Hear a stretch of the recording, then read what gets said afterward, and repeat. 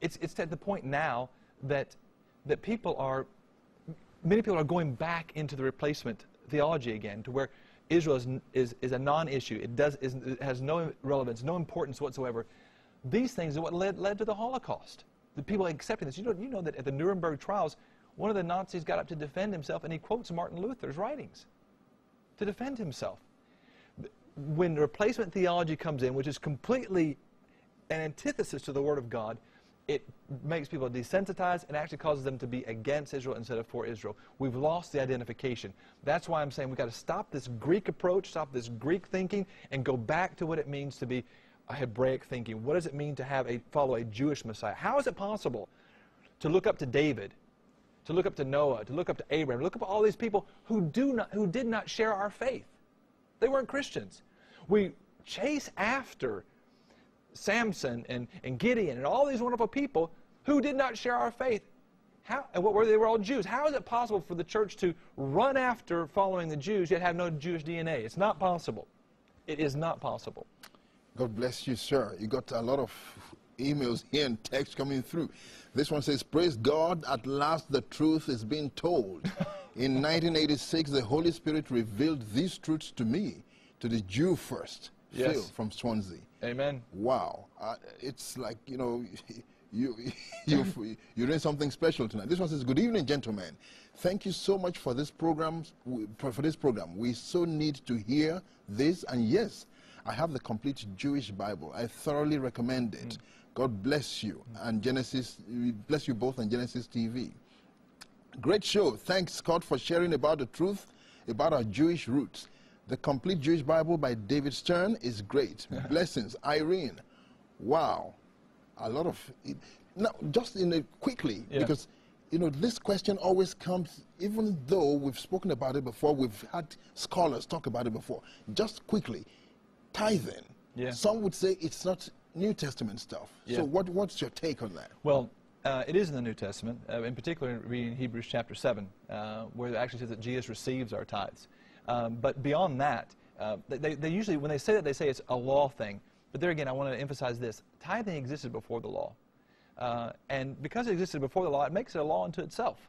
Just like Sabbath existed, just like Passover existed. All these things existed before there was a law. So it's not possible to say, well, it was just a law, so forget about it. But tithing has always been. It's always existed from the very, from the very, very beginning. In, in, in the garden even, God instituted the giving and offering unto him, and it's maintained all the way through. So therefore, it existed before the law, and people, some people would say after the law. Although uh, I have my own opinions as to, as to the functioning of the law, I think there is uh, a lot of things that are still in play today, which is a whole other topic and, Amen. and a whole other show. Dear Pastor Yemi, thank the Lord for this minister and his ministry. How refreshing to hear the true gospel being preached over the airwaves. This proves that the coming of, of Jesus is very near. Amen. God bless you, Marjorie. Amen. Hi, Scott. Brilliant. Please, will you explain about the Passover?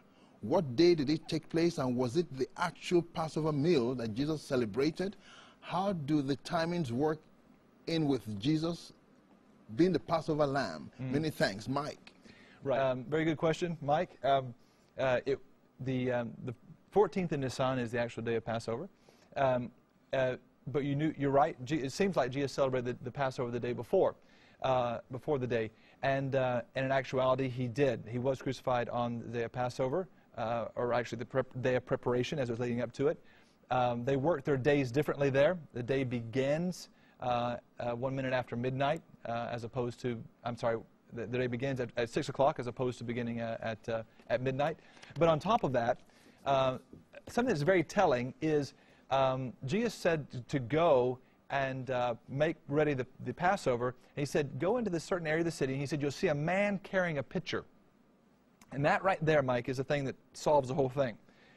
The city of Jerusalem is divided up into many different quarters, and one quarter is called the Essene quarter. And only men lived in that area. They didn't have the women. Women always carried the water. For him to say, go find a man carrying a pitcher of water, that meant going to the Essene quarter. And the Essenes had this idea that the temple had been corrupted because a lot of the, the priests were political appointees, And so they did things a little bit different, on a little bit different calendar, and they celebrated the Passover slightly different timing than what the Jewish people did. So Jesus was able to celebrate the Passover in the Essene quarter because everybody there was doing it, and also be able to sacrifice himself as a paschal lamb on the actual day of uh, Passover. Wow. You got, you got fans. It's unbelievable. Hi, brothers. This is, um, this is amazing.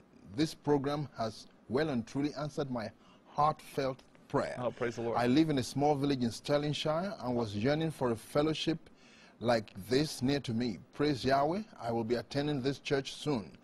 Uh, willing, Yahweh willing. Please, could you explain the scripture in Matthew 23, 7 to 12? Thank you. Um, well, uh, we're, we're running out of time, really, but I just quickly skim through. That's 23, 7 to 12 says, Greetings in the marketplaces and to be called by men Rabbi, Rabbi. But you do not, but you do, but you do not be called Rabbi, for one is your teacher, the mm. Christ, and you are all brethren. Do not call anyone on earth your father, for one is your father, he who is in heaven. And do not be called teachers, for one is your teacher, the Christ. Mm. But he who is greatest among you shall be your servant. Mm. And uh, finally, verse 12, and whoever exalts himself will be humbled, and he who humbles himself will be exalted. exalted. Yeah. Um, it has to do with the actual usage of the word, because obviously um, we, the Bible talks about your honor your mothers, your fathers, and so forth. It uses the word father very, very commonly, very frequently. Jesus was called rabbi on many occasions, and so forth. So the actual use of those words, if you look in the original text, it has the connotation of an exalted place of being a lord and master over. Uh, rabbi only, rabbi in English just means teacher. Uh, there was nothing wrong with the term, but he said the word he used there was not just a regular rabbi, it was a rabbi term they used for an exalted, almost lord over type uh, position. Okay. So, uh, and all those were used in that same context. God bless sure. you. And um, you know what? If you want to get in touch with this church in Stirling, you can actually call the office tomorrow and speak to Susie. And she will be, she will give you the, the telephone number and the email address and all the other bits. But just quickly, mm. can you tell us what the email address is? Yeah, the email address, you can, uh, you can email at office. Oh, do you have a website? I do. The website is, is www.church at stirling, that's all spelled out, church at stirling.co.uk.